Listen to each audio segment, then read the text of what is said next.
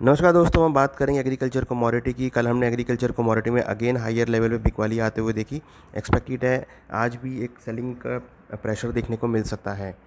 Demand कम होने की वजह से भावों में गिरावट देखने को मिल रही है और आने वाले दिनों में अच्छे मानसून के एक्सपेक्टेशन की वजह से भी भावों में नरमी का रुख देखने को मिल रहा है। आज के लिए टेक्निकल लेवल इस प्रकार से हैं। जीरा सपोर्ट बीस हज़ार छः सौ रजिस्टेंस इक्कीस हज़ार दो सौ टर्मरिक सपोर्ट आठ हज़ार एक सौ रजिस्टेंस आठ हज़ार तीन सौ पचास कोरिएंडर सपोर्ट ग्यारह हज़ार दो सौ रजिस्टेंस ग्यारह हज़ार छः सौ पचास। Cotton seed oil cake support उनतीस सौ बीस रजिस्टेंस तीन हज़ार बीस। ग्वारगम सपोर्ट ग्यारह हज़ार रजिस्टेंस ग्यारह हज़ार सात सौ। ग्वार सीड सपोर्ट पाँच हज़ार नौ सौ रजिस्टेंस छः हज़ार सत्तर। ग्वारेक्स सपोर्ट सात हज़ार पाँच सौ पचास रजिस्टेंस सात हज़ार सात सौ चालीस। कैस्टर सपोर्ट सात हज़ार एक सौ रजिस्टेंस सात हज़ार चार सौ।